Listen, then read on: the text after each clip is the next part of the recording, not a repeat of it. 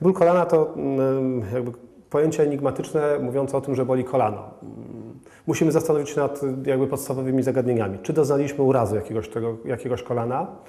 I w mechanizmie urazu znaczącą rolę odgrywa informacja, czy był to uraz bezpośredni, czyli upadając uderzyliśmy się kolanem o ziemię, czy upadając, czy w chwili upadku doszło do skręcenia i podkręcenia kolana. Czyli jeżeli mówimy o mechanizmie urazowego bólu kolana, jakby dwa podstawowe zagadnienia to, czy jest to z urazu bezpośredniego, czyli uderzone, czy z mechanizmu skrętnego. Cała inna gama dolegliwości bólowych kolana są to bóle bez urazu, czyli bóle samoistne. Eee, I tutaj na pierwszy plan wychodzą u osób młodych, uprawiających różne sporty, zmiany przeciążeniowe.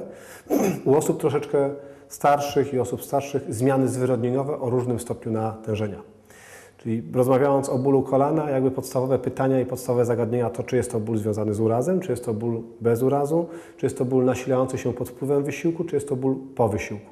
Natomiast jeżeli chodzi o pytanie, co może boleć w kolanie, może boleć dokładnie wszystko, więc idąc od przodu do tyłu, od środka na zewnątrz, jakąkolwiek strukturę sobie wybierzemy, ona może dawać dolegliwości bólowe.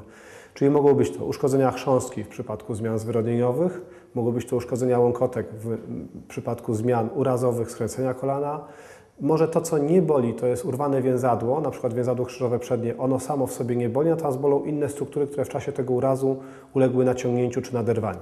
Inne więzadła, więzadła poboczne, więzadła, e, więzadła znajdujące się w obrębie torebki stawowej również będą dawały dolegliwości bólowe. Boleć mogą również mięśnie i ścięgna przyczepiające się w okolicy okołokolanowej.